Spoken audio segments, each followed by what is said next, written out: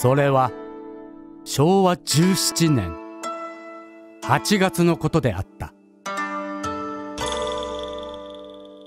長年にわたって我が軍は大東亜共栄圏の領域を拡大してきた。しかし画島として知られるこのことをガダルカナル島では遠くでどよめきが。